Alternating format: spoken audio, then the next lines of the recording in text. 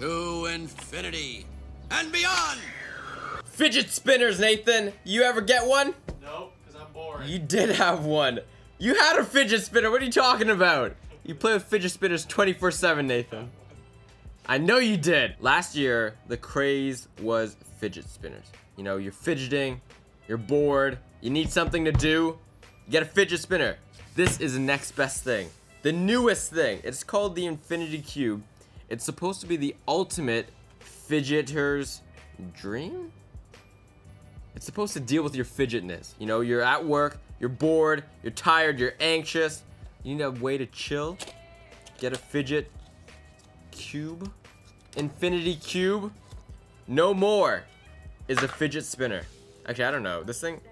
So what it does, which is what makes it so fidgety, hence the word infinity cube, is that you make a cube out of it.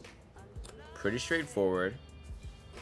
But then you keep making a cube out of it, which is kind of weird. So you keep folding it, and then you just keep folding it. Do you see this, Nathan? See what's happening here? Look at this. Look at that. It goes on forever. It's the infinity cube. But yeah, this is supposed to be the ultimate fidgeters thing. Now, unlike a fidget spinner, you can't just do it with one hand. You could, but it's like, it's not as fun. You just, it's a bit difficult, you know? I mean, a fidget spinner, you just spin it. Nathan, would you fidget with this? You don't you don't want to fidget with it? It's too complex for you to fidget with?